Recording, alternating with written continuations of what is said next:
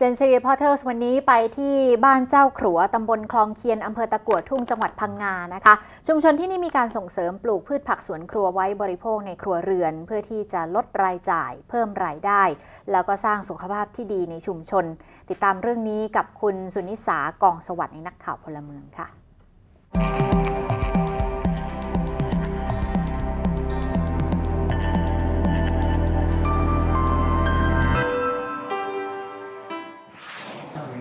จากวิกฤตสู่โอกาส ด้วยพลังการรวมกลุ่ม สภาผู้นำชุมชนทำให้ชุมชนบ้านเจ้าขรัวตำบลคลองเคียนอำเภอตะกั่วทุ่ง จังหวัดพังงา เป็นชุมชนหนึ่งที่หันมาทำโครงการเศรษฐกิจพอเพียง ปลูกพืชผักสวนครัวเพื่อบริโภค ลดค่าใช้จ่ายเพิ่มรายได้ให้กับครัวเรือน ในหมู่บ้านนะคะมีปัญหาเรื่องหนี้สินค่ะ หางบประมาณมา แล้วก็ให้ชาวบ้านปลูกผักกัน บางคนก็ว่าเออไม่มีที่จะปลูกนะบอกว่าข้างบ้านก็ปลูกได้ที่จะมากมากอะที่เป็นกลุ่มใหญ่ ๆ มันจะไม่ค่อยมีที่ แล้วก็ให้ปลูกข้างบ้าน แล้วก็ซื้อเมล็ดพันธุ์ผักให้เขาทีแรกอะค่ะ มีในสวนก็มีบ้างอะเล็กน้อยค่ะ แต่ส่วนมากจะปลูกข้างบ้าน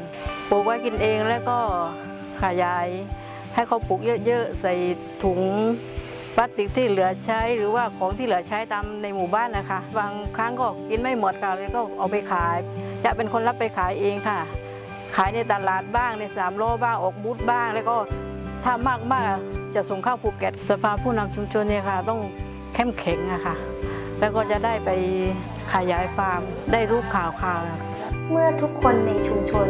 ให้ความสำคัญกับการปลูกผักไว้บริโภคเอง ไม่เพียงแค่ ลดค่าใช้จ่ายในครัวเรือนลงเท่านั้น ทุกคนในชุมชนยังมีสุขภาพดีขึ้นอีกด้วย ผักปลอดสารพิษ แล้วก็โรคภัยที่จะมีมารุมมามันก็จะลดน้อยลงค่ะ การที่เราชาวบ้านเขาให้ความสนใจจากเดิมที่ว่าเอ่อเราซื้อผักจากข้างนอกมา ผักบางทีมันไม่ปลอดสารพิษเอ่อ มันก็มีโรคภัยเกี่ยวกับเด็กเกี่ยวกับผู้สูงวัย โครงการนี้เข้ามาเขาก็เข้ามาถึงสนใจเกี่ยวกับครัวเรือน ตอนนี้ครัวเรือนเขาก็เกือบร้อยเปอร์เซ็นต์ครับปลูกผักข้างบ้านไว้กินเอง แล้วพอได้มาสัมผัสเกี่ยวกับการปลูกผัก กินเองก็มองดูแล้วคือมันสุขภาพมันก็ดีขึ้น พอได้มาขยับกายได้มาออกกำลังกายเพิ่มมันก็เลยเพิ่มประสิทธิภาพให้กับ ในชุมชน คนในชุมชนตอนนี้ไม่ว่าเด็กไม่ว่าวัยผู้ใหญ่วัยผู้สูงอายุเขาก็มีสุขภาพที่ดีขึ้นครับ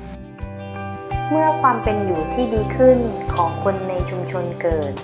ก็นำมาสู่สุขภาพที่ดี เพราะผลิตอาหารที่ดี มีรายได้ที่ดี